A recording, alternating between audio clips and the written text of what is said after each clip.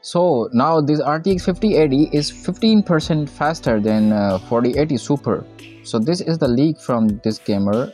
I think so. Yes, this is his testing information. Look at this photo. Here you can see.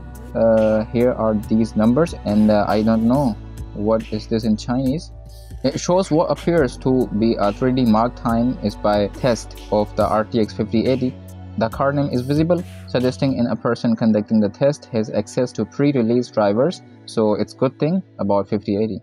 It is indeed 15% faster than RTX 4080, issue which average is about 28,000 points and where is RTX 28,305 uh, uh, supposed to be uh, 32,701.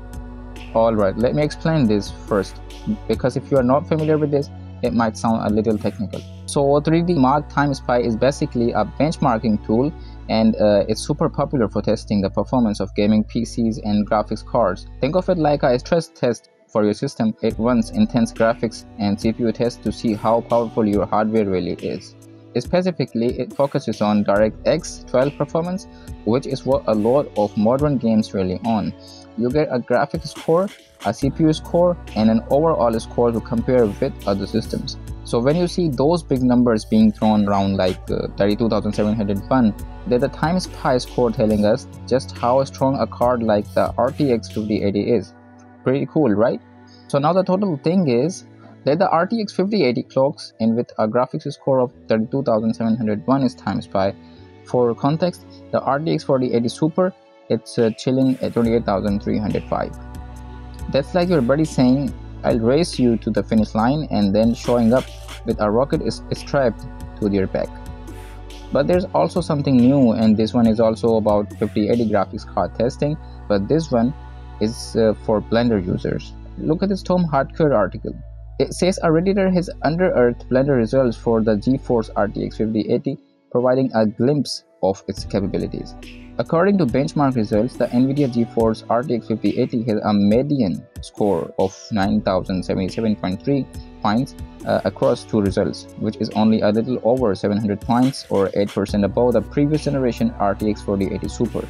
Compared to the RTX 4080, the RTX 5080 delivered up to 10% higher performance in Blender. So these numbers might not seem exciting at first, especially since earlier leaks hinted at a 22% performance boost over the RTX 4080. But let's keep in mind, those results came from Geekbench, which isn't exactly the gold standard for testing graphics card.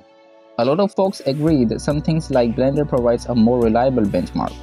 Now, as for the RTX 5090, it's showing a solid 25% improvement so now the real question is how does the RTX 5080 measures up to its processor? When it comes to actually gaining FPS, the gap between the RTX 5080, RTX 4080 Super and RTX 4080 might end up being even tighter than expected. It's uh, definitely going to be interesting to see how this play out. I definitely need your help to grow this NVIDIA community. If you want to watch more exciting NVIDIA news and leaks, please do like and don't forget to subscribe please. And drop a comment below and take care until the next one. Bye bye